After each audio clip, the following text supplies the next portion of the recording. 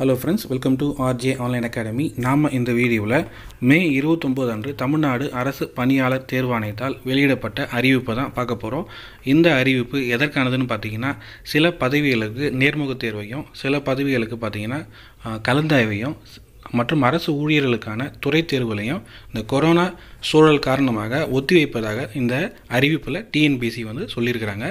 So வாங்க இந்த வீடியோவில் டீட்டெயில்டாக என்னென்ன நேர்முக தேர்வு எந்தெந்த பதவிகளுக்கான நேர்முக தேர்வையும் அதே போல் எந்தெந்த பதவிகளுக்கான கலந்தாய்வையும் ஒத்தி வச்சுருக்காங்கன்றதை பார்க்கலாம். ஸோ டிஎன்பிஎஸ்சி வெளியிட்டிருக்கிற இந்த அறிவிப்போட ஃபஸ்ட்டு பாயிண்ட்டை பார்க்கலாம். தமிழ்நாடு அரசு பணியாளர் தேர்வாணைய அலுவலகத்தில் எட்டு ஆறு ரெண்டாயிரத்தி இருபத்தொன்று முதல் பதினொன்று ஆறு ரெண்டாயிரத்தி இருபத்தொன்று வரை நடைபெறவிருந்த போக்குவரத்து வாகன ஆய்வாளர் நிலை இரண்டு தமிழ்நாடு போக்குவரத்து சார்நிலை பணிகள் ரெண்டாயிரத்தி பதிமூணு பதினெட்டு. ஸோ இந்த பணிக்கான நேர்முகத் தேர்வு வந்து தற்போது நிலவும் கொரோனா சூழல் காரணமாக அது கொரோனா வைரஸ் தொற்று காரணமாக தள்ளி வைக்கப்படுகிறது. அதாவது போஸ்ட்போன் பண்ணியிருக்கிறேன்னு சொல்லியிருக்கிறாங்க. மேற்படி பதவிக்கான நேர்முகத் தேர்வு வந்து மாற்றுத் தேதி வந்து பின்னர் அறிவிக்கப்படும். ஸோ எப்போ இதுக்கடுத்து இந்த நேர்முகத் தேர்வு எப்போ நடக்குன்றதை டிஎன்பிசி தெரிவிப்பாங்கன்றத சொல்லியிருக்கிறாங்க. இதே போல் ஒரு ப்ரெஸ் ரிலீஸ் வந்து கண்டிப்பாக வெளியிடுவாங்க. ஸோ அடுத்த பாயிண்டில் என்ன சொல்லியிருக்காங்கன்றத பார்க்கலாம். அறிவிக்கை எண் பதினெட்டு பார் பத்தொம்போது ரெண்டாயிரத்தி பத்தொம்போது எந்த நாளில் வெளியிடப்பட்டதுன்னு பார்த்தீங்கன்னா இருபத்தொம்போது மே ரெண்டாயிரத்தி பத்தொம்போதில் வெளியிடப்பட்ட ஒருங்கிணைந்த பொறியியல் பணிகளுக்கான.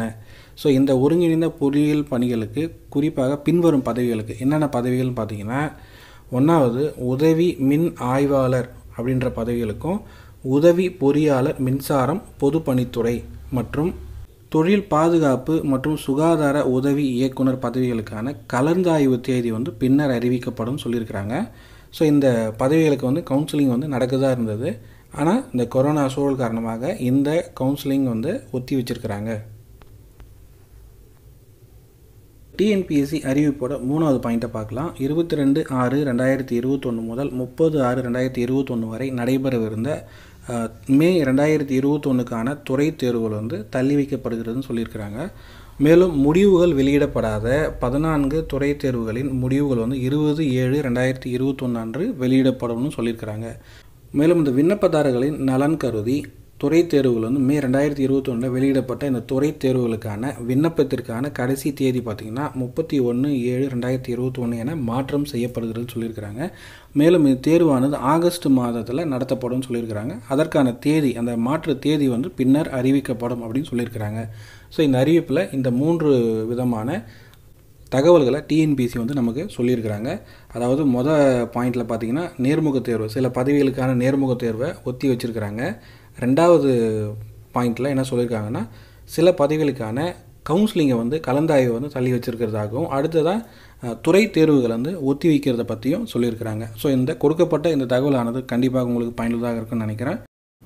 இந்த மாதிரி நம்ம சேனலில் போடக்கூடிய எக்ஸாம் சம்மந்தமான அப்டேட்ஸை நீங்கள் உடனுக்குடனே தெரிஞ்சுக்கிறதுக்கு நம்ம சேனலை மறக்காமல் சப்ஸ்கிரைப் பண்ணுங்கள் இதே போல் ஏற்கனவே நம்ம சேனலில் போட்டிருக்கக்கூடிய எக்ஸாம் சம்மந்தமான வீடியோஸை நீங்கள் மிஸ் பண்ணாமல் பாருங்கள் இந்த வீடியோஸ்லாம் உங்களுக்கு பிடிச்சிருந்தா உங்கள் ஃப்ரெண்ட்ஸுக்கு ஷேர் பண்ணுங்கள் தேங்க்ஸ் ஃபார் வாட்சிங் ஆர்ஜே ஆன்லைன் அகாடமி